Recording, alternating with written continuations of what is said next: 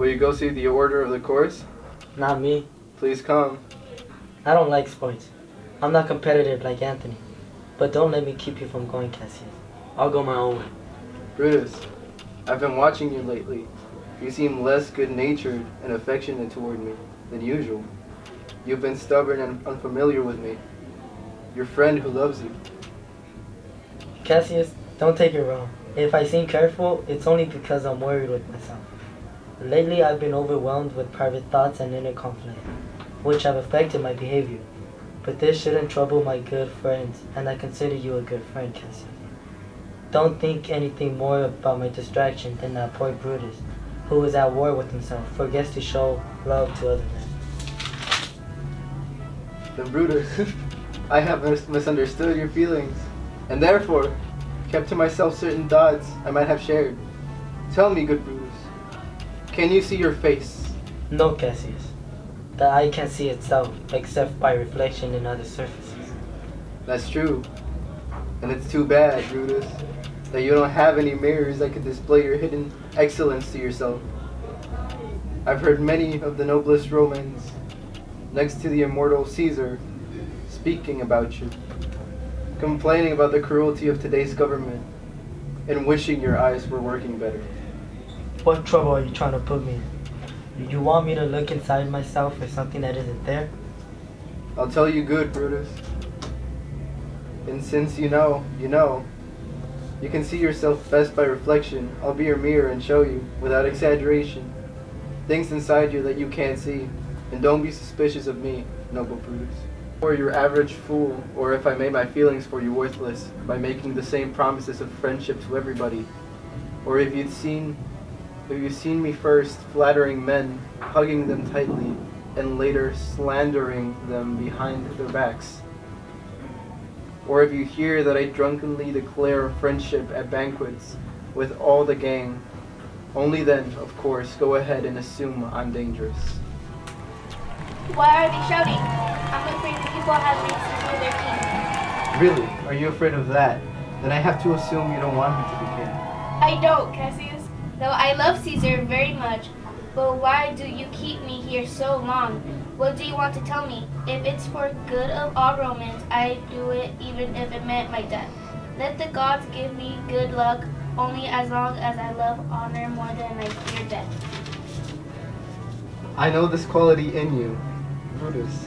It's as, it's as familiar to me as your face. Indeed, honor is what I want to talk to you about. I don't know what you and other men think of this life, but for as me, I'd rather not live at all than live to worship a man as ordinary as myself. I was born free as Caesar. So were you. We both have eaten as well, and we can both endure the cold winter as well as he. Once on a cold day, cold and windy day, when the river Tiber was crashing against its banks, Caesar said to me, Cassius, I dare you to jump into the rough, this rough water with me and swim to that point over there. As soon as he spoke, though I was fully dressed, I plunged in and called for him to follow. And he did. The water roared and we fought against it with vigorous arms. And thanks to our fierce competitiveness, we made progress. But before we reached the end point, Caesar cried, Help me, Cassius, or I will sink.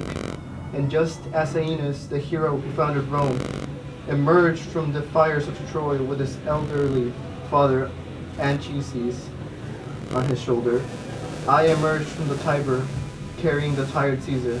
And this is the man who has now become a god. And I'm the wretched creature who must bow down if Caesar so much as carelessly nods my way. In Spain, Caesar had a fever, and it made him shake. It's true, this so-called god, he shook, his cowardly lips turned white, and the same eye who gazed terrified. Dear Caesar, I offer you the crown. Here, take it. No. Are you sure, Caesar? Yes. Are you sure, Caesar? Here, I offer. Oh! world less clean. I heard his groan. Yes, I did. In the same tongue that ordered the Romans to obey him and transcribe his speeches in their books cried, Give me some water, Titinius. Like a slick girl, it astounds me that such a weak man could beat the whole crowd and carry the trophy of victory alone. Another great shout. I do believe these applauses are for some new honors that are helped on Caesar. More shouting. Is that all for Caesar? Why, Caesar? He straddles the world like a giant, and us petty men are under his huge legs looking forward to die as slaves. We take charge of our fate. It is not our destiny's fault, but ours. That we are slaves. Brutus, what's so special about Caesar? Why is he more superior than us? If you compare our names, they are as great. Brutus, what does Caesar do that makes him grow so great? Our era should be ashamed of him. Rome lost the ability to raise noble men. The last time Rome had one grand leader was at the beginning of time. Why do we have one now? You and I heard our fathers talk would have let the devil himself reign Rome before he let them be king. The world lost its gleam.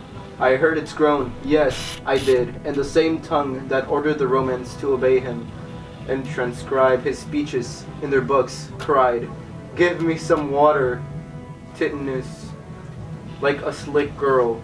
It astounds me that such a weak man could beat the whole crowd, the whole world, and carry the trophy of victory alone. Auntie.